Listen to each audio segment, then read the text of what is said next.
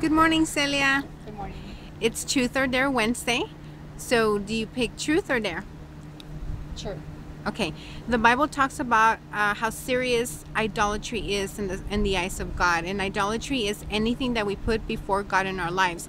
It could be even um, uh, our car, our money, our children, our husband or, or wife. Uh, it could be anything that in our lives has taken the place that belongs to God alone, which should be supreme over every area of our lives. Are, are there any idols in your life right now that you can think of? My parents. Your parents? Yes. How, how did you make them an idol, or how do you see them as your idol right now? Um, because of what they taught me and how they made me become as a mom, a wife, and a sister.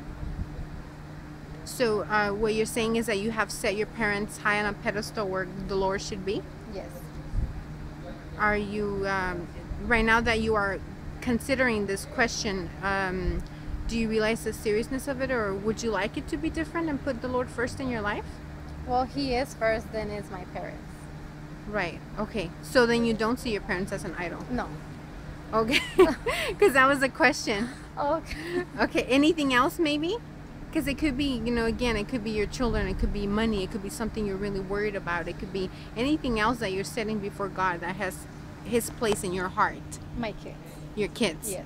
Okay. Um, are you interested in putting God in the right place in your life where He belongs? Yes. A way we can do that is spending time in the Word. Do you spend time in the Word?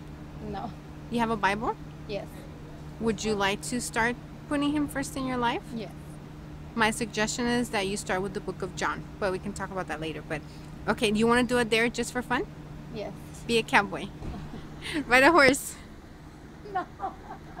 Come on, two seconds. No.